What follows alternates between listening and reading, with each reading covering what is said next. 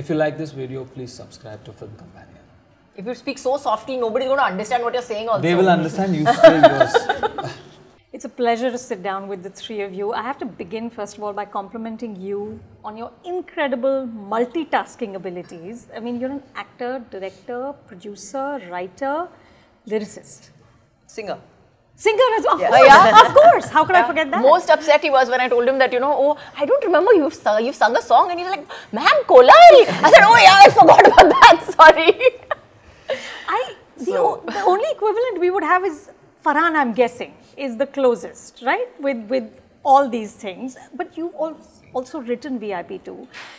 When you're writing for yourself, do you ever get tempted to give yourself the best lines and the best scenes? I mean, you're going to say this stuff on screen. Like, how do you do it? Uh, no, ma'am, I definitely don't do that. I try to write what's necessary for the film and that particular scene that I'm writing, and I definitely don't keep myself in uh, in mind. Just I just keep the character, but I Such I- humble people we but, have here. But but I know my strength as an actor, so definitely. So you play up the Uh, yes, I I uh, sometimes I write according to my strengths. That I do, but definitely I don't write. Uh, stuff that I, uh, that I, I have to give myself the best of lines. I don't do that. What he has to say, Raghuvaran has to say in that particular scene, I, I write only that. I just want to say that I'm better dressed in the film though. Of course you are. Of course you are. All she gave me was shabby clothes. No, no, no. it's not. You were suited up to, to But fit the no, the corporate writer world. gave you shabby clothes, not you. That's true. That's right. Not That's her. you hobbled yourself. Yeah, Yes. basically, yeah.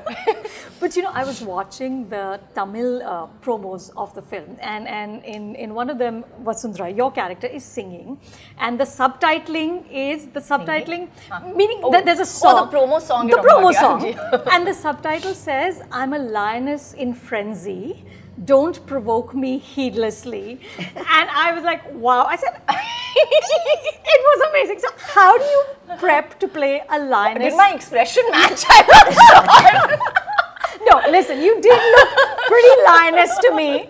So, but how, do you, Lioness part I know. I don't know about the frenzy and the heedlessly part of it. but how do you prep to play a lioness in a language you don't actually understand? Uh, with great difficulty, uh, one day at a time, one line at a time, and um, I have to say both Soundarya and Dhanush really, really worked very, very hard on me, around me, with me, to make it look and feel as seamless as possible. Took me about a couple of days to actually get into the rhythm of the language. Took me that long to understand where the pauses and the stops and the commas were, and uh, so I, it, by the third day, I think we were much more, you know, at ease. It didn't require as many rehearsals and as many retakes.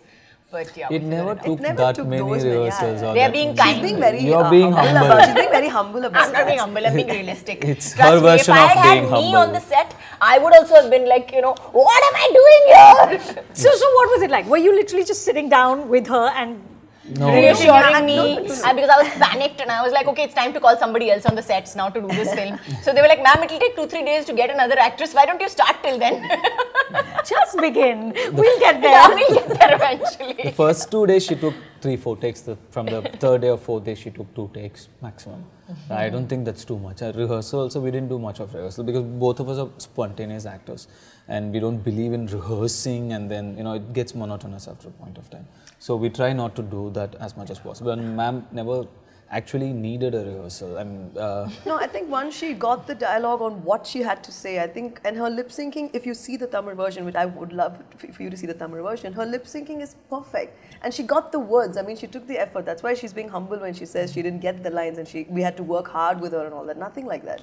I think uh, once she understood what had to be said and what the emotion was, she just got it perfectly right. So, what's the process? You learn the lines by heart, right? Of course. No, No. That was the whole point. That was the reason why I haven't done a bloody Tamil film. Sorry, I haven't done a Tamil film for.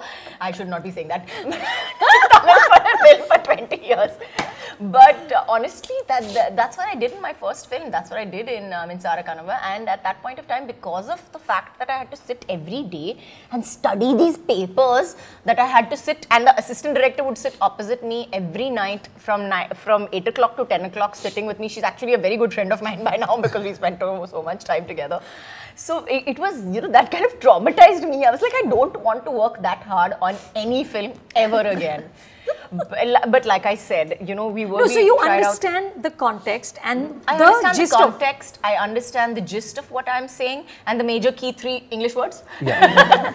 So I'm like, as long as I get those three key English words and um, I kind of get the lip sync, I'm fine with that. Yeah, That's the way to do it. yeah, that's the way to do it. Okay, the other thing the characters do a lot, at least in the promos they do a lot, is the is the sort of slow motion walk.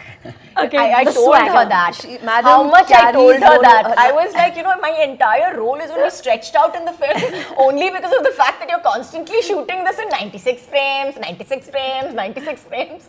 No, but, but Soundarya, how do you direct actors to have that sort of swagger? How, how do you achieve that? I'd asked Vin Diesel this, and he had said, you either have it or you don't. Is that true? Can you construct it? I, I, I completely agree with that. I think both of them, they don't have to try or they don't have to put on anything and take that extra effort. They're just so naturally stylish and so so so so confident on screen that I didn't have to try at all. Madam was Vasundhara from the day she said yes to the project till now also she's still Vasundhara for me.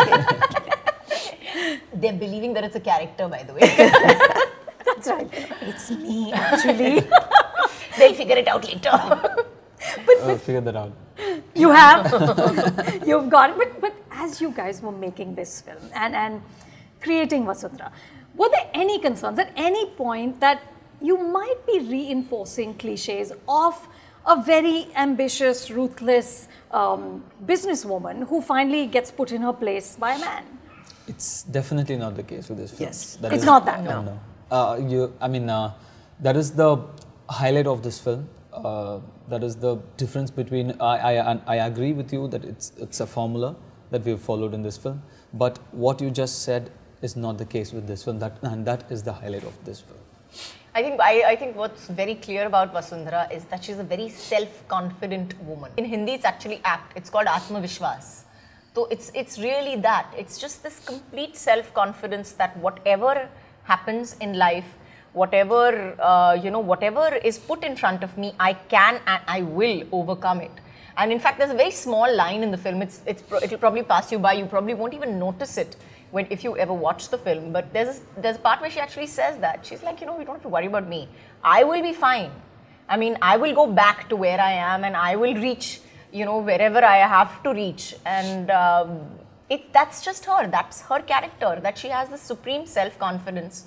That she doesn't require a label of a Mr. or a Mrs. or a gender tag or a VP, CEO, mother, sister, uh, you know, any kind of a tag to identify who she is or even to enable her to do anything. So, what is Amul Baby? Yeah, even I didn't get that when I was shooting for it. I was like, what is that? Are we discussing butter? What are we discussing? no, I you don't want to say it. Uh, it's, it's a slang used by uh, like among teenagers, friends. I mean, like five, six years ago, it was uh, that case to basically call spoiled brat. That yeah. So, spoiled brat is an Amul Oh, Baby. yeah. Okay, I get it. I was like, what? That No, just it, it became very famous in part one Part because one, um, so- in part one he'll refer to the uh, So they would definitely expect me to say that somewhere or the other. So Okay. that's hence. But this this script does does not have any uh, uh, relevance to uh, no. say Amul baby, but it's just for fans. It's only to get those whistles and the Yeah, claps when he says Amul baby. I think that's. This is where you're playing to your strengths, right? As you're Yes, writing it, you said yes. one Amul baby needs to be needs there. to be there. So, Soundarya, you said that, that the two of you are creatively compatible. But what are the rules of engagement when it comes to working with family? Uh, you call him D-Sir, which I love. I do, I do, I do. I'm very glad it's spreading. With such a senior actor, we have to give him that much of respect. Ma'am, he is for me right. Ma'am, for me, he's 34 films old, and I'm two films old. So I think when we go to the flow, How he many films is, have you done? Uh, D sir. I think you're, uh, you're a senior actor. How many films have you done? 34 films. I don't think I've done 34 films. I've done about 20, 29 films. So 35 now with your English film now. Yeah, 35. 35, yeah. No, I think so it has to be D-Sir. it has to be D sir. Good God. No, working with family has its uh, pluses and minuses, and we we are very creatively compatible and we're best friends. But I think when we decided to work together, where I'm the director and he's the writer, I think we agreed to disagree from the first day. So we said, you know, you have your opinion, I'll have mine. End of the day, what matters is what comes, what what is needed for the product, what's needed for the film.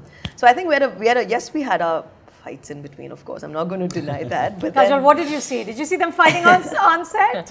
No, I No, saw. on set, never. Never. On set, never. Never. Never. Never, I, never. I'm always. the- Not even sort of icy looks No, or no. glares? Icy looks went. Icy looks went. There was this one deep breath, and everybody was like, and Sandhya is very sweetly ignoring it and going back to the thing. So on- that happened. on set it's the But, obedient Though they would actor. like to believe that nobody noticed Oh that, God, of yes. course. So he, he gives the icy looks, he gives the glares. Well, the writer tra- does that, and the actor controls him. And she's the captain of the ship. Shut up. Kajol, this is a special year for you, 25 years. Yeah, yeah, 25 years. Yeah. 25 years. I, you know, I saw this interview you did where you talked about what it was like when you first started working, and you said that um, we would know each other's families and children and wives, and and, and you said now it's more uh, about yourself as a brand Yeah. and and when you work with people you're always thinking about but does it impact on my brand equity what is it like how hard has it been for you to adjust to how the film industry has evolved It was very hard at first. It was uh, completely alien. I didn't understand it for a number of years. I resented it for a while. But I also was practical enough to realize that I had to work with it. And I had to work within those parameters and uh, work around those particular things that were causing me that irritation or whatever. Uh, so, so I, I kind of got. It took me a while to get used to it. Also, it took me a while to figure it out that, you know, I was like, you, but but it's not okay, and it's it's not not okay, but that's just being professional, and everybody has to do it in a certain way for the sake of professional professionality or whatever. So I think, uh, yeah, it took me a while to get used to it. Yeah. do you think of yourself as a brand I do definitely. I think I definitely think of myself as a brand. I don't think that I cannot think of myself as a brand, especially when somebody or the other is reminding me every two seconds about it on some social media or something like that. And um, uh, honestly, I guess it's it's like a you know it's almost like a work in progress. It will continue to hopefully grow better, and uh, in a way, very weird way, it kind of extends your longevity as well. Because once you build that brand up, you can use it for a lot more things and in a lot more ways than you would just by being, oh, a heroine who did a particular amount of films. So it's not all bad. It's, it's No, it uh, definitely isn't. But yes, it is a completely different system of working. And there is no two ways about it. I mean, like, I remember my first film, I remember for Bekhudi, I was adopted.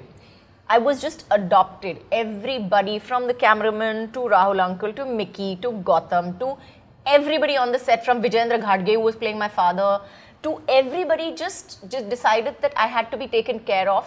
I was about 16 and a half at that point of time. So this baby ko bulao shot ke liye. No, no, no. You sit, baby. I mean, I've slept on Gotham's lap for entire three and a half hours, like passed out for like in the bus and stuff like that. So I mean, they really, really. I literally, I would say that they. Brought, my mother has handed me over with a, like a tear in her eyes to say that you know, please take care of my baby.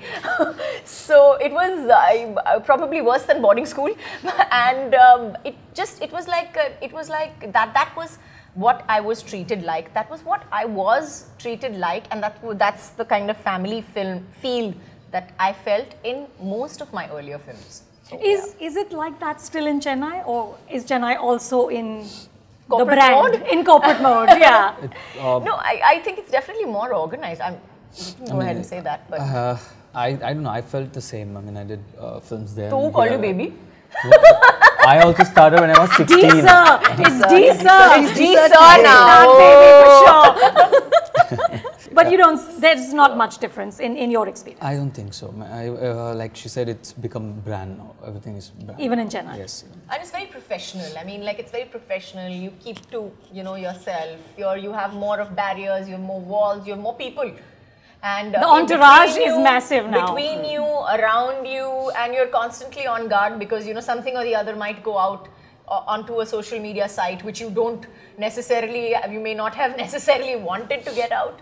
So you're constantly worried about that. So there is that. I mean, I'm not constantly worried about that, but but yeah. part of it. Sundar, the first film you directed didn't do well. Um, and a lot of artists have said that failure is a bigger teacher than success. What did you learn from that experience that you brought to VIP2? First of all, I wouldn't think of Kochadaiiyaan as a failure because I think in history of Indian cinema, if you look back, the first motion capture, performance capture film uh, to use the technology will always remain Kochadaiiyaan, and I'm very proud about that. Um, but I learned quite a bit from that, and I realized, you know, it's not just what you want to do as a filmmaker, it's also what audience are ready to see and ready to accept. Because I was very passionate about the technology, but uh, everybody wanted to see my dad live. So when I showed him as a animated character, that uh, you know, people were disappointed, which I understand. And I've thoroughly enjoyed calling action and cut to my dad. I think it's a blessing to say action, and there's Rajni sir in front of you. Amazing. I, I'll never forget that, Yeah. and I think that's a that's a blessing. And anybody who's in the entertainment industry as a filmmaker wants to work with my dad at some point. So I always think I just a- want to do an interview with him. you know, and it's like, no, that's never going to happen. Uh, I but never say never. It, it could. I say put in a good word, both of you. But yeah, so I think I think Kochadaiiyaan will always be very uh, close to my heart, and to direct uh, Disa in in uh, VIP two. No, it, the thing is, it's a Disa's Disa. just looking at the floor. It's too sweet, yeah. not That's just what me. age uh, does every, to you. No, everybody seniority fondly. does to you. No, but I think uh, I have to thank him for trusting me with a sequel because part one was such a big blockbuster, and you know I'm very happy because this is my first live action movie. So I have to thank him for trusting my there vision. was and no favor like when I was done or, or anything of that sort. Kochadaiiyaan, according to me, came way ahead of its time. Probably if it had come uh, like a year ago or it's coming now, it would, I think the result would be completely different, in my opinion. Uh, I think it's about five, six years ahead of its time. So I've always, uh, I've always known she's uh, very talented and uh, she has great capacity and caliber. Uh, so uh, VIP2 especially needed a, a big vision uh, VIP 1 is a very simple film. VIP 2 demanded a big world like of Vasundhara's, you know, that empire, that empress has to come in. And uh, I needed somebody like uh, who, uh, whose vision is very grand and big. So she was uh, needed for the project. Tell me, um, you know, Hindi cinema, Bollywood has always been seen as the sort of premier cinema brand out of India. That's the brand that when you travel everywhere, people say, oh, India, Bollywood. You know, it's sort of shorthand for India. Um, how do you think the success of the Bahubali franchise is going to alter that? Do you think, Kajol, that it might, might sort of, in a sense, um, reduce in some way the hubris and the arrogance in the Hindi film industry? Will it embolden film industries from the south to soar even higher? Does it shift the ground in any way? No, I, I personally feel uh, the name they've given for Indian films has become Bollywood, yes. But they are watching Indian films in common. They are watching all the films. So now that I've gone there, I've stayed there, I've You've done a I've- film? yes, f- I, I- I can, uh, uh, I can tell you that, you know, they watch Indian films. But the name they give, they can't have like four names, you know. They so the name they have commonly they that give. It's like how we say European cinema. yeah, it's so like they- that. like they've just given a common name to Indian films as Bollywood, but they watch all films, not just Hindi film. They watch Hindi film, Tamil film, Malayalam film, Telugu film, Marathi film. They watch all the films, and they have. Uh, you would be really surprised. Uh, the, the kind of films they know. I mean, they know so much about Indian films. They follow so much, and they are actually they actually want to make many films from here there.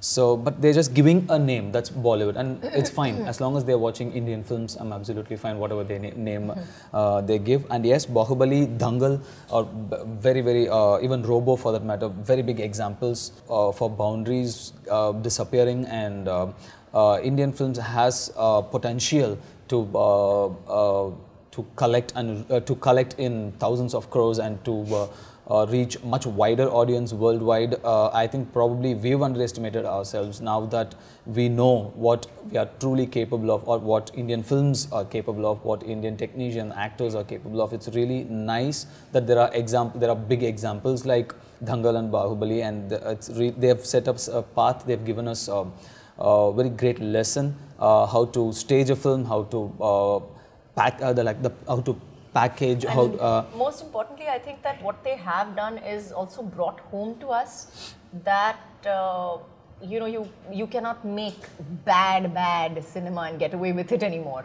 The standard of a good film has risen, Absolutely. definitely. And now you've realized that the audience knows it too.